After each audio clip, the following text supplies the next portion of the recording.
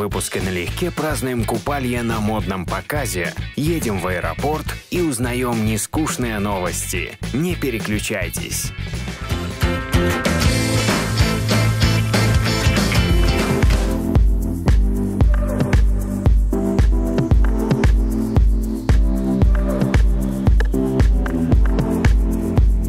Всем привет! Съемочная группа программы «Налегке» приехала в национальный аэропорт Минск, но не для того, чтобы отправиться в отпуск, а с не менее приятной миссией – протестировать новую инициативу ЮНИСЕФ и Государственного пограничного комитета Республики Беларусь «Граница дружественная детям». Не переключайтесь и вместе с нами насладитесь атмосферой аэропорта, ведь скоро границы обязательно откроются, и все мы с вами куда-нибудь полетим.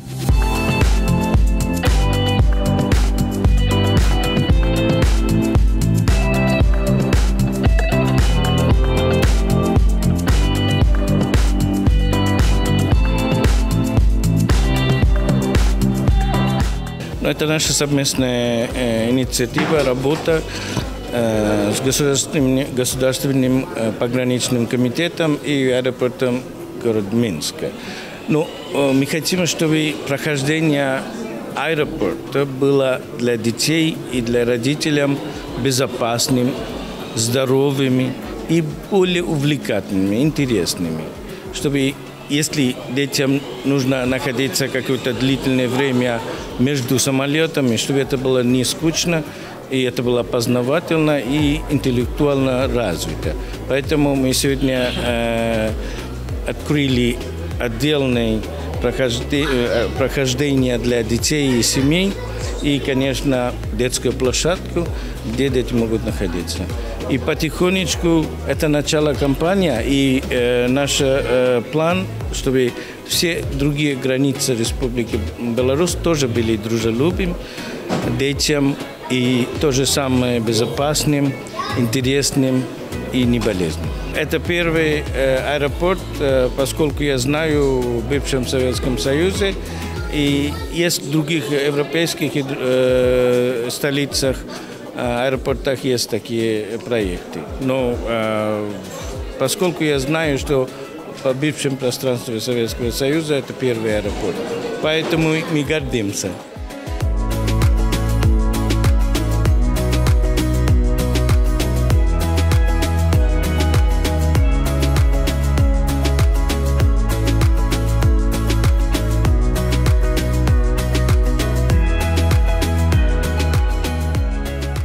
Стойки регистрации, стойки э, пассажиров, которые проходят пограничный контроль, соответственно, игровая комната здесь, и стойки прилетных пассажиров, которые сами обработаны те же самым оборудованием, подставочки для детей. Не надо будет родителям их поднимать, таскать ими вещи в руках, а ребенок сам будет заглядывать в кабинку и проходить весь пограничный контроль. Ну, работники нашего отряда, во-первых, доброжелательны, к детям относятся вежливо. В любом случае, это родители. Раньше, когда не было таких подставочек, они вот подсаживают ребенка, улыбаются, проверяют паспорт, сверка идет. В общем, э, сама процедура, она ничем не отличается, как и для взрослых. Сейчас просто она становится веселее и ярче в те места, где будут проходить семьи, пассажиры, семья именно, или пассажиры просто с детьми. Мы просто ищем все моменты, ищем, как в мировых аэропортах это делается. И самое интересное, приобретаем аэропорт, чтобы было удобно и комфортно пассажирам.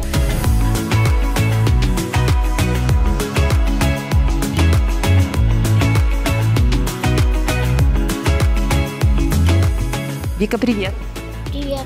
Расскажи, пожалуйста, какой раз ты находишься в аэропорту? Ну, не знаю. Уже была? Да, была. Улетала? Такая путешественница со стажем. Ты сегодня проходила новый паспортный контроль, забиралась на эти ступеньки. Расскажи, как это было, удобно ли тебе было, весело? Весело. Что спрашивали, что там была такая тетя пограничница, да? Что ничего не спрашивали, там надо было давать паспорт и смотреть в камеру, и на нее смотреть. Знаешь, для чего нужны пограничники? Нет. Нет? Ну, чтобы посвери... свериться, ты ли выезжаешь, под своим ли паспортом? Вы все сразу видели и сказали, о, так это же та самая девочка Вика, да, улетает, не знаю, в какую-нибудь далекую страну. Кстати, куда бы ты хотела полететь? Ну, не знаю. Наверное, в Грузию. В Грузию? На море? Да, на море. Хорошо. Ну расскажи, пожалуйста, по, по ступенькам было удобно, э, да, тебе забираться туда. Вот. А расскажи мне детская площадка, как тебе, вот как ребенку, ты протестировала? Детская площадка мне очень понравилась. А, Мне очень понравились ну, кататься на машинах и лазить там.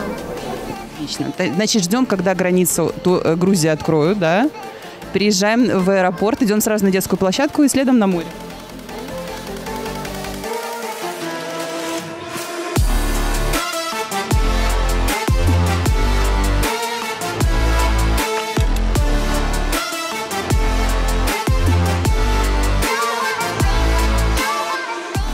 Мы все летаем а за границу здесь, вы к нам приезжаем. Ну, представь, мы с вами можем сесть, почитать газету, интернет.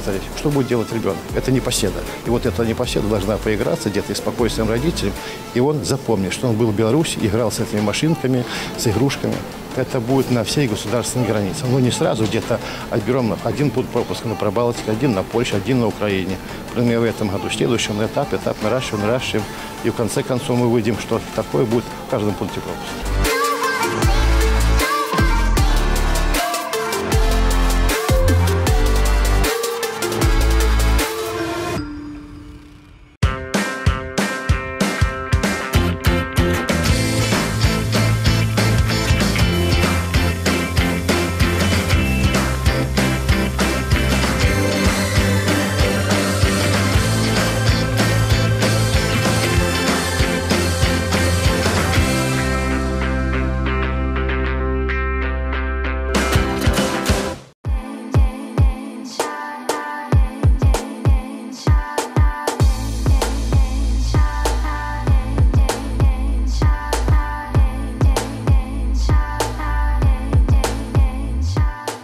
Лето в самом разгаре, и светская жизнь набирает свои обороты после долгого перерыва, но делает это осмысленно и со всеми мерами предосторожности.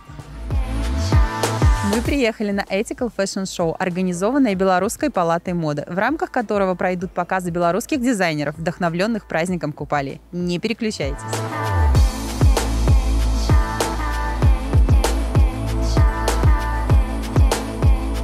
В летнюю ночь, да? Эм, Вы нам показывали эскизы купальщиц еще только в самом начале. Но было ощущение того, что девушки прям вот вышли из воды и смотрят прямо на нас своим пронзительным взглядом. Мне кажется, вам это удалось. Но у вас еще было волшебное музыкальное сопро- сопровождение, правильно? Даша, можно пару слов рассказать о том, как, вы, как вообще, в принципе, э, вот эта работа происходит, да? Вы сначала показываете свои э, эскизы или уже готовые наряды, а потом происходит Девочки позвонили мне и попросили озвучить их показ. Я давно просилась, на самом деле. Давно я фанат э, их творчества и сказала, что следующий показ я обязательно озвучу. И вот, когда они позвонили, попросили меня озвучить их показ, я сказала, девочки, пришлите мне просто принты. Вот какие будут принты в этой коллекции. Они прислали мне принты, и все, мне этого было достаточно. Я сразу же воодушевилась, воодухотворилась. э, У меня сразу перед глазами э, такая вот... Я еще, конечно, прочитала про купаль, я прочитала про обряд. Ну, это на самом деле такой языческий, очень серьезный праздник, и он даже немножко схож с Хэллоуином, э, когда нечистая сила выходит из воды. И также она мешает э, смелым юношам и девушкам искать вот этот вот самый магический цветок папоротника. Что следующее? Приоткройте нам тайну. У нас э, есть тема для новой коллекции. Это, эм, это тоже эк- экологическая направленность. Название Zero Bee, а, философское и черно-белое. А ближе к теме будет более подробно.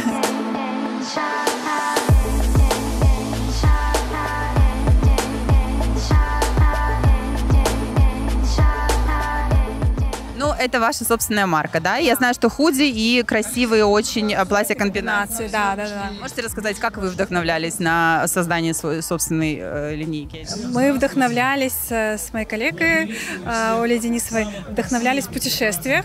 Мы пришли к выводу, что мы берем постоянно вещей много, а носим одно и то же. Это, как правило, платье, худи, объемный тренч, брюки и как э, футболки. Ну, вот какой-то буквально там 6-7 вещей, которые мы комбинируем и берем из поездки в поездку, вне зависимости от того, это летом, осенью вот, или весной. Вот для вас, как э, для владельца магазина, как для человека, непосредственно имеющего отношение к моде, Случилась эта магия или нет? Абсолютно случилось. Я в восторге а, практически от всех образов. Они действительно волшебные, но я не могу согласиться с тем, что они не для повседневной носки. Может быть, они не для всех не для массового потребления. А, в этом как раз есть идея дизайнерской одежды. То есть нужно себя чувствовать в этом гармонично и органично. И если а, тебе в этом классно, комфортно, то ты это можешь носить на каждый день.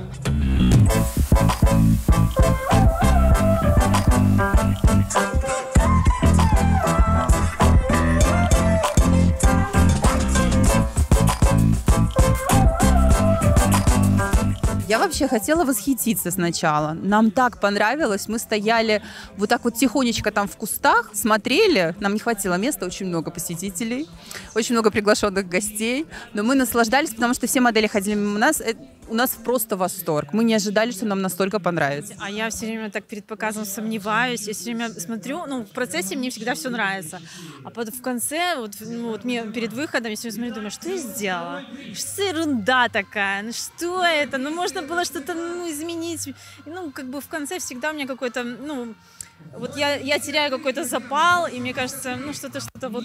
Нет, это было потрясающе, но когда мы встречались еще на этапе да, создания, эм, не звучало название коллекции «Колыханка», да, это все, я так понимаю, пришло в процессе. Да, в процессе я изменила, потому что я начала делать аксессуары, и подумала, что они вот похожи вот на сновидения, то, что там в голове, бывают темно, черно-белые сны, бывают э, яркие какие-то сны, и я этим вот э, головными уборами пыталась это показать. Кстати, еще, да, э, в модели были, э, как заявлено в пресс-релизе, элегантного возраста. Это тоже, это была ваша идея или это извне пришло? Это идея нашей команды вообще и партнера моего DAF, так как они э, пропагандируют естественную красоту в любом возрасте, также и Нина, неделя белорусской моды. Ну, это как бы совместный такой проект. Вот, мне кажется, ну, это не моя идея была, но мне кажется, получилось неплохо, да, да.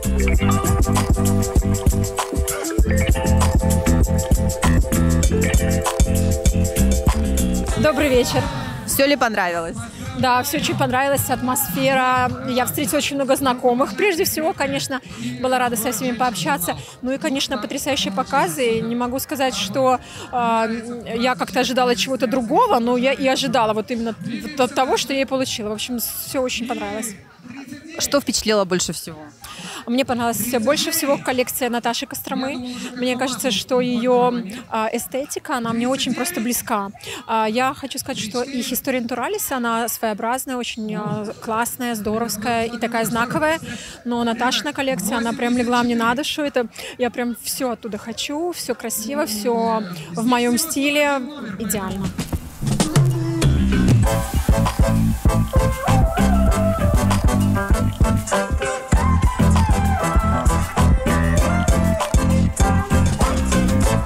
Нина, поздравляю. А, спасибо. Мне кажется, все удалось.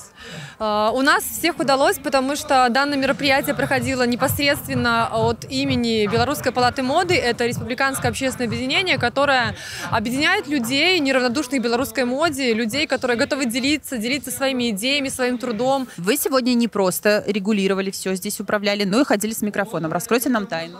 А, тайна, тайны никакой нет, как, э, скажем так, э, люди, которые ограничены э, финансово, у нас, конечно же, всегда не хватает рук на таких мероприятиях, рук, ног, людей, поэтому, скажем, какие-то функции определенные, очень важные, приходится брать на себя, и я человек, который знает всех гостей, людей, дизайнеров, скажем, взяла на себя такую опцию, это, ну, не просто подготовить все это мероприятие, потому что, скажем, подготовки – это огромная работа, вот, но я рада, что у меня а, такая команда, с которой я могу быть действительно профессиональным руководителем, я могу быть тренером, я а, удаленно через, э, опять-таки, современные средства коммуникации наладила всю работу.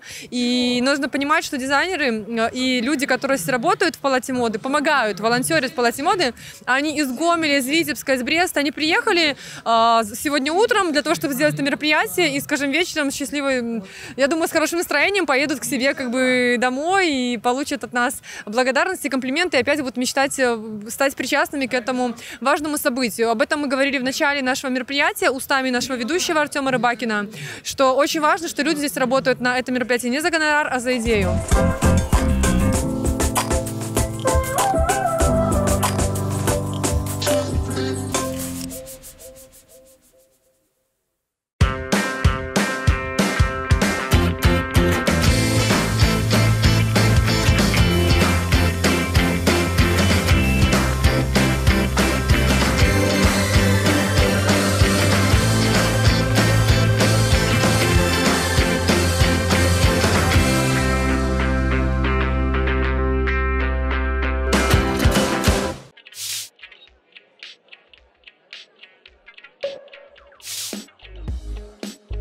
Лондоне разработали съедобную упаковку, а Игги Поп выпустил клип на одну из своих главных песен.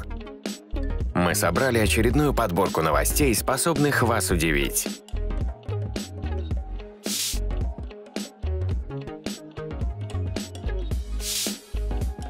Холли Граунс, дизайнер из Лондона, разработала экологичную упаковку для лапши рамен, которая при контакте с водой превращается в соус. Девушка недавно выпустилась из университета и во время учебы, как и многие студенты, часто питалась лапшой быстрого приготовления. Холли обратила внимание на то, как много пластика остается после каждого набора для рамена. Тогда девушка приготовила у себя на кухне первый прототип обертки, используя крахмал, глицерин и воду. В сухом состоянии она не дает лапше черстветь, а при попадании в кипящую воду растворяется менее чем за минуту. А еще Холли предлагает добавлять в нее дополнительные ингредиенты, вроде специй. Для того, чтобы такая пленка не пачкалась в магазине, дизайнер предлагает класть продукт в вощеную бумагу. Так выглядит разработка.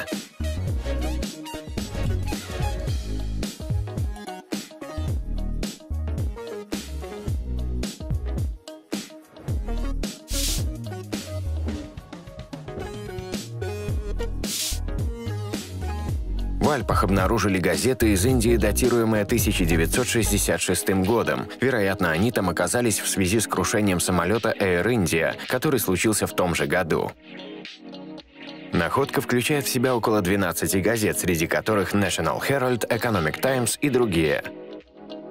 Их обнаружил владелец ресторана неподалеку от горнолыжного курорта. По его словам, пресса очень хорошо сохранилась. Так это выглядит.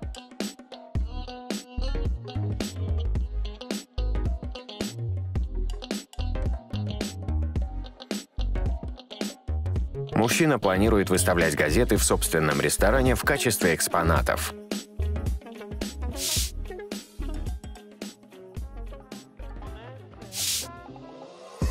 В Корнуолле владельцы паба The Star Inn придумали способ борьбы с посетителями, которые не соблюдают социальную дистанцию и близко подходят к барной стойке. Они установили электрическое заграждение в полутора метрах от бармена. Так это выглядит.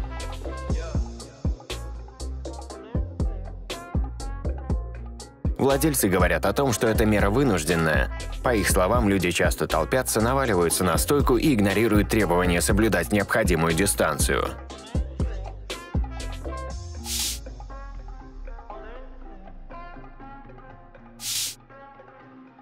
Команда приюта для животных из Подмосковья выпустила видеотизер коллекции одежды. Все деньги, вырученные от продажи футболок, сумок и прочих вещей, пойдут на содержание котов и собак. Так выглядит ролик.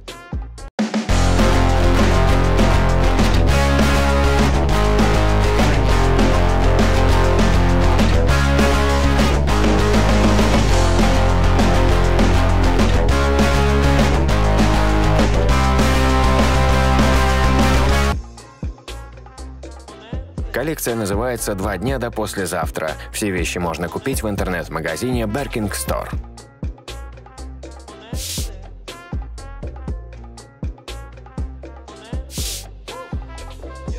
Игги Поп выпустил клип на песню «Passenger».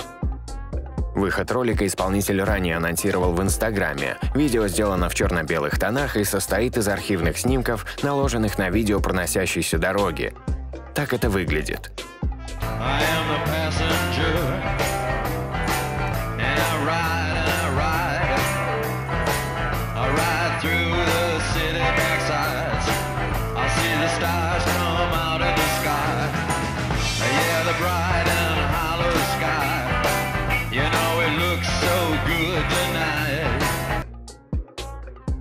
На протяжении всего видео на экране появляется текст песни, так что можно легко подпевать своему кумиру.